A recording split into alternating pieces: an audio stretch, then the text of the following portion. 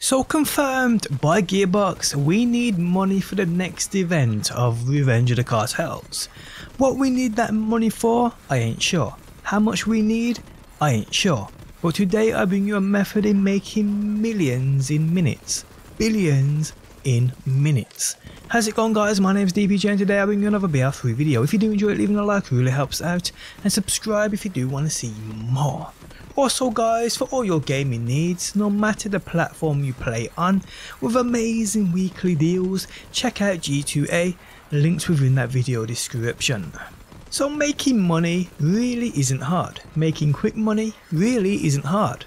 And now making millions, even billions in minutes, today after you watch this, won't be hard either.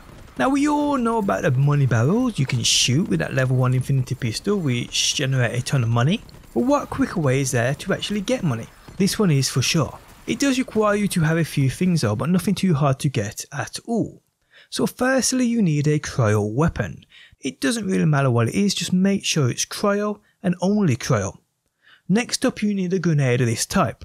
Now it doesn't have to be the exact one, it just needs to have similar prefixes. The ones you really want though are homing, bouncy and money. This one does have MIRV though which is nice but here you could have two money prefixes instead. But homing I'd say although it's not really needed, it's still amazing to have.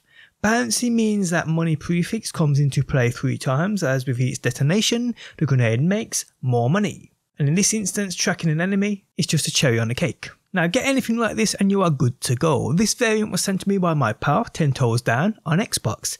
The variant is also at level 12 meaning it doesn't actually kill enemies as it's too weak, but it still generates just as much cash. Next, if you have an artifact, which is a loot expanding variant, which gives you plus 125% cash, you are ready to rock and roll. This although isn't a must, it just obviously helps. Now me doing this on Zane and the grenade making that money grenades and regenerating them is very useful obviously. So a pocket full of grenades is a useful option to have on guys. Now I know other Vault Hunters out there have similar benefits too. These are the Vault Hunters you want to be doing this on. Also guys, you want to be doing this on Mayhem 3 as it's this Mayhem mode where you generate the most money. From here guys you want to head to Eden 6 and load into the Voracious Canopy. Then follow the route I will take you on and show you at the end of the video.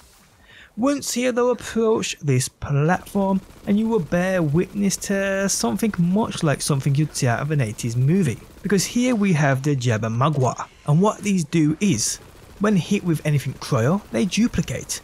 When in the water hit with cryo, they duplicate even more. The more you shoot them with a cryo weapon, the more they duplicate. You doing this while throwing those grenades at them and you are in that money, spawning unlimited amounts for sure and you will earn it like no other method I've come across in this game so far. It is that crazy, crazy to a point of earning millions in minutes, even billions in minutes. Now what I did was I had my alt account in on the action too for the most part, just standing there racking up that money also. And within 30 minutes people, I easily had over a billion. Easily.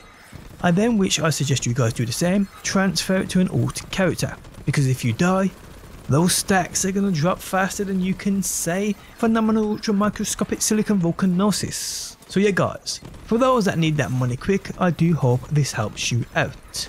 Now as for the grenade, which is the main point of this, you can easily farm vending machines which is your best bet in getting anything like this.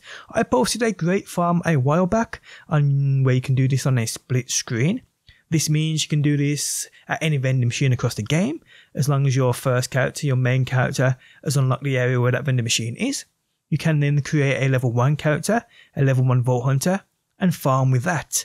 This means all those grenades will be at that low level. Farm away once you find that one you want, transfer it the money off your main, buy it, and you are good to go. That vending machine method though you'll find linked within that video description if you do want to check it out.